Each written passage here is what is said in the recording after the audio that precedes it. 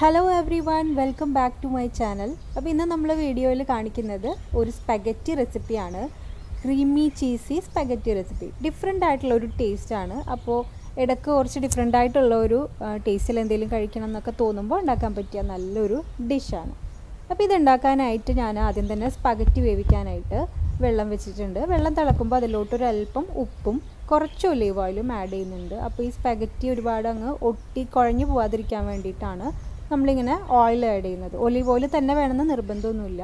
എന്ത് ഓയിലായാലും മതി. ഇനി ഈ സ്പഗറ്റ് നമുക്കൊന്ന് കുക്ക് ചെയ്തെടുക്കണം.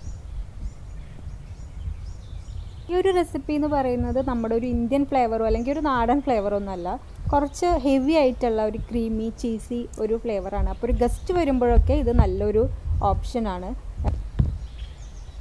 ഇപ്പോൾ സ്പഗറ്റി ഇവിടെ കുക്ക് ചെയ്തെടുത്തിട്ടുണ്ട്. കുക്ക് ചെയ്ത് അതിലെ വെള്ളമൊക്കെ വാർത്തെടുത്തിട്ടുണ്ട്. എന്നിട്ട് അതിന്റെ മുകളിൽ ഞാൻ കുറച്ച് സാധാരണ വെള്ളം പച്ചവെള്ളം ഒഴിച്ചു വെച്ചിട്ടുണ്ട്. അപ്പോൾ ഒട്ടും ഒട്ടലില്ലാതെ ഇങ്ങനെ വിട്ട് വിട്ട് നമുക്ക് കിട്ടും. ഇനി ഇതിലോട്ട് വേണ്ടിയിട്ടുള്ള വെജിറ്റബിൾസൊക്കെ ഒന്ന് കട്ട് ചെയ്തെടുക്കാം. അപ്പോൾ ഇതിലോട്ട് ഞാൻ കൂടുതലായിട്ട് എടുത്തിട്ടുള്ളത് വെളുത്തുള്ളിയാണ്. പിന്നെ ഒരു ഓണിയൻ ഉണ്ട്. കുറച്ച് ക്യാപ്സിക്കം ഇത്ര മാത്രമാണ് ഞാൻ ആഡ് ചെയ്യുന്നുള്ളൂ. നിങ്ങൾക്ക് വേണമെന്നുണ്ടെങ്കിൽ ക്യാരറ്റ് ക്യാബേജൊക്കെ ആഡ് ചെയ്ത് കൊടുക്കാം. ഇപ്പോൾ ഞാൻ രണ്ട് പാന് വെച്ചിട്ടുണ്ട്. പാരലലി ക്രീമും അതുപോലെ വെജിറ്റബിൾസും നമുക്ക് സോട്ട് ചെയ്തെടുക്കണം. ഒരു സ്പൂൺ ബട്ടർ വെജിറ്റബിൾസ് സോട്ട് ചെയ്യാനായിട്ട് ഞാൻ ആഡ് ചെയ്യുന്നുണ്ട്.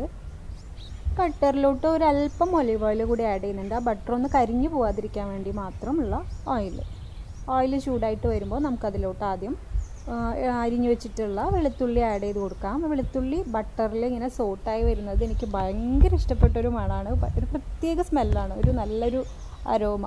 നമ്മുടെ വെളുത്തുള്ളിയൊക്കെ നന്നായിട്ടൊന്ന് ബ്രൗൺ ആയതിനു ശേഷം നമുക്ക് അരിഞ്ഞു വെച്ചിട്ടുള്ള ഉള്ളി കൂടി ചേർത്ത് കൊടുക്കാം. അപ്പോൾ ഉള്ളി ഒരുപാട് ബ്രൗൺ ആക്കേണ്ട ആവശ്യമില്ല. ഒന്ന് കളർ മാറി ഒന്ന് കുക്കായി വന്നാൽ മാത്രം മതി.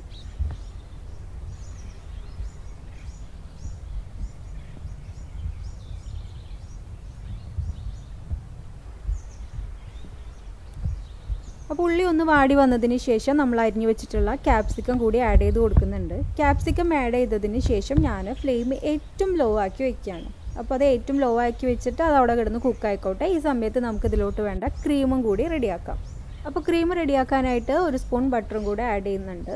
ഈ ബട്ടർ ഒന്ന് മെൽറ്റായി ഒന്ന് ചൂടായിട്ട് വരുമ്പോൾ അതിലോട്ട് നമുക്ക് മുക്കാൽ സ്പൂണ് മൈദ ആഡ് ചെയ്ത് കൊടുക്കാം. മൈദ എന്നിട്ട് നന്നായിട്ടൊന്ന് വറുത്തെടുക്കുക ഒന്ന് റോസ്റ്റ് ചെയ്തെടുക്കുക അതിന്റെ ആ പച്ചമണം പോകുന്നത് വരെ ഒന്ന് വറുത്തതിന് ശേഷം അതിലോട്ട് നമുക്ക് പാൽ ആഡ് ചെയ്ത് കൊടുക്കാം. പാൽ ആഡ് ചെയ്ത് തുടർച്ചയായിട്ട് ഇളക്കിക്കൊണ്ടിരിക്കണം.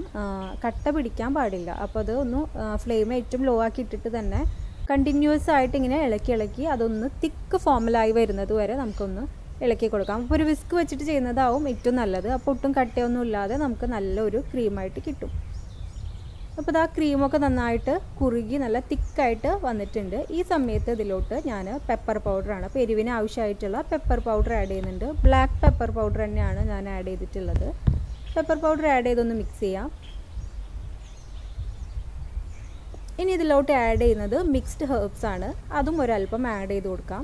പിന്നെ മുജറല ചീസ് അതും ചേർത്ത് നന്നായിട്ടൊന്ന് മിക്സ് ചെയ്യാം. അപ്പോൾ അതും കൂടെ ചേർത്ത് അതൊന്ന് മെൽറ്റായി മിക്സായി വന്നു കഴിഞ്ഞാൽ നമ്മുടെ ക്രീം ചീസ് ഇവിടെ റെഡിയായി ഇനി ഇതിലോട്ട് അപ്പോഴേക്കും നമ്മുടെ വെജിറ്റബിൾസ് ഒക്കെ നന്നായിട്ട് സോട്ടായി വന്നിട്ടുണ്ട്. അതുകൂടെ ചേർത്തിട്ടൊന്ന് ഫൈനൽ മിക്സ് കൊടുക്കാം.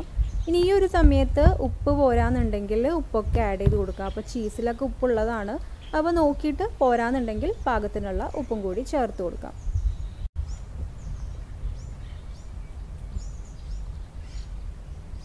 ഇതിലോട്ട് ഇനി ഞാനൊരു സ്പൂൺ ടൊമാറ്റോ കെച്ചപ്പും കൂടി ആഡ് ചെയ്ത് കൊടുക്കുന്നുണ്ട്. ഇതും കൂടെ ആഡ് ചെയ്തിട്ട് നന്നായിട്ടൊന്ന് മിക്സ് ചെയ്ത് കൊടുക്കാം.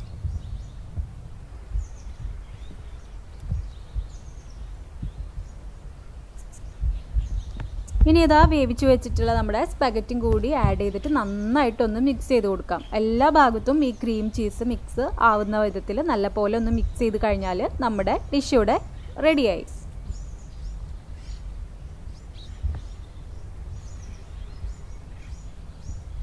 ഇനി ഇതൊന്ന് ഗാർണിഷ് ചെയ്യാൻ വേണ്ടിയിട്ട് ഞാൻ രണ്ട് മുട്ട ഒരല്പം ഉപ്പ് ചേർത്തിട്ട് നന്നായിട്ടൊന്ന് ബീറ്റ് ചെയ്ത് ഒരു ഓംലെറ്റ് ഉണ്ടാക്കി എടുത്തിട്ടുണ്ട്. ഇനി ഇത് റോൾ ചെയ്തിട്ട് ഞാനിങ്ങനെ സ്ലൈസ് ചെയ്ത് കൊടുക്കുകയാണ് സ്ട്രിപ്സ് പോലെ.